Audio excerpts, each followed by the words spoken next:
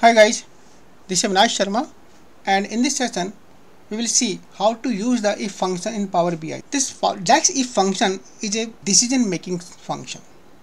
Means you supply a expression and you supply the value and those value returns on the basis of the evaluation of the expression.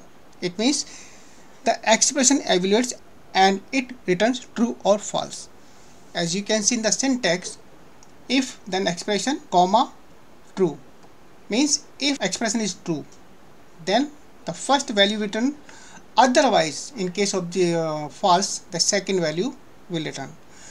As you can see in the example suppose I am calculating the grade on the basis of the percentage. So grade equal to if percentage greater than 80 in case of true then A will return. And if the condition false then B will return. The same thing nested if it means we can use the if within the another if.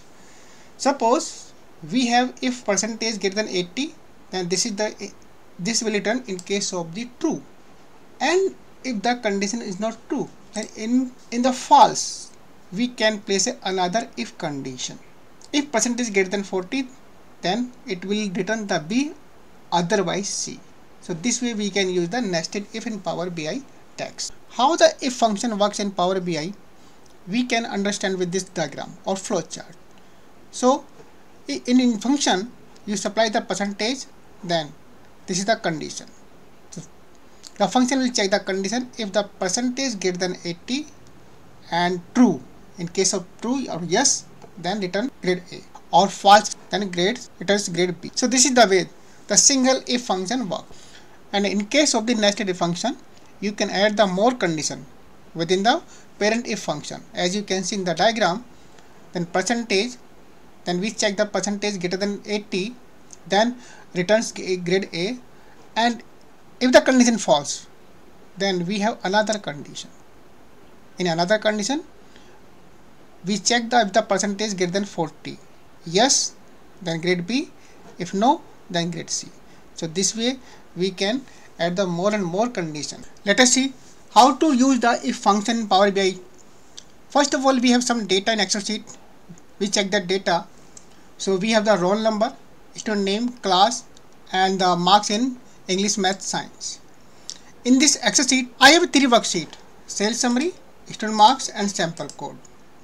For the, your practice, you can download this um, Excel sheet. I have given a link on the description. So from there you can download this file. So using this data, of the students I have to calculate the mark sheet for each and every student. Let's see how to do it. As you can see the right side we have a table that is the student marks and data already loaded. Okay now we go to the data. So first of all we have to calculate the total of three subjects. Then create a column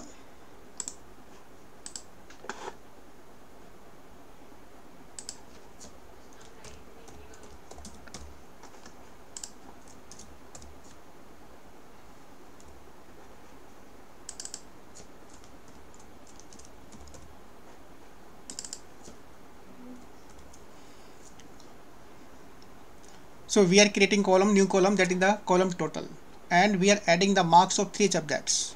Then enter. Now we have the total of three subjects English, Math in each row. In each row. And next step is calculate the percentage. Again new column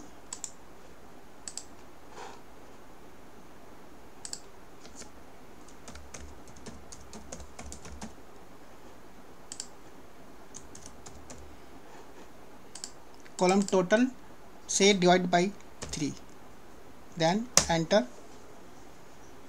Now format this one. Column total. Then decimal.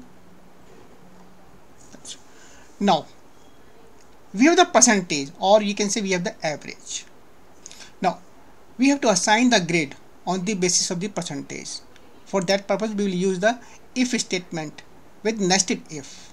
So again new formula. New column. Then this time grade and so we have to calculate the grade on the basis of the percentage. So if statement. Once you type in statement then you can see the number of par parameters we need to supply. First of all it's a expression. So percentage. Then say 80 this is the expression which result, results in the true or false. If it is true then grade A. If it is false then grade B. So first of all expression then comma the value for the true and after comma the second value for the false. Enter.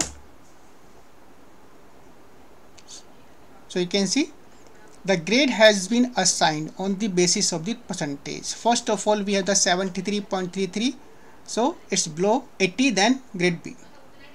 Then grade A then grade B. Suppose I want to define the range for assigning the grade. Range means like between the uh, 40 60 and uh, between the 70 80 this kind of range I want to define for for grading system. So I have to apply the nested if so the rule is you have to define the if statement within the parent if statement. B is the else part. So remove this b1 and define another if statement here. If say percentage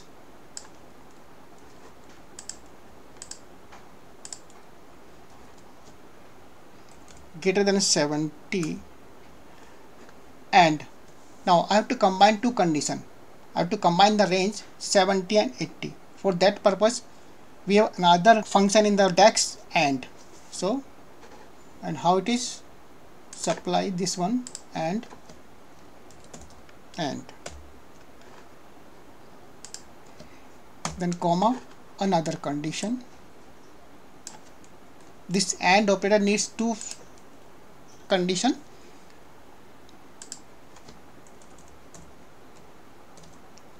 Say 80 then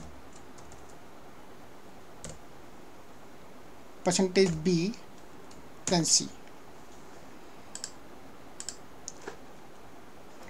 So you can see so within this if statement we are using the another if statement and within this if we are using the AND operator. In AND we have to supply two condition two range 70 greater than 70 and less than 80 so if this is true then result is B otherwise it's C. So so you can see this one the 40.33 this is the C because this is not in the range of 70 or 80 and this is the false. So our data is ready. Now how to visualize this mark sheet on the visual component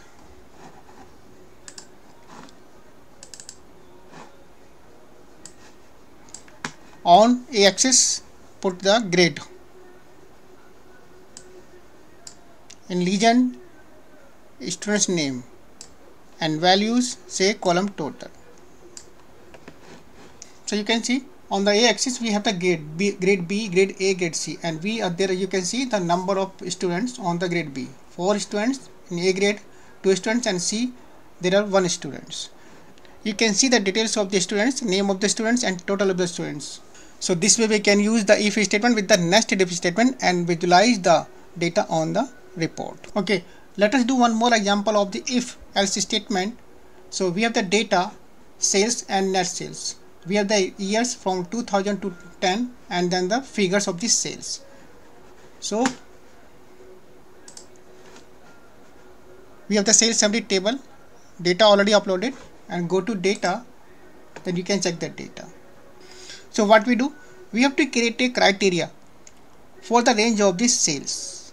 So high sales medium sales and low sales. For that purpose we'll, we'll have a new formula and new calculated column. New column. This time say sales status.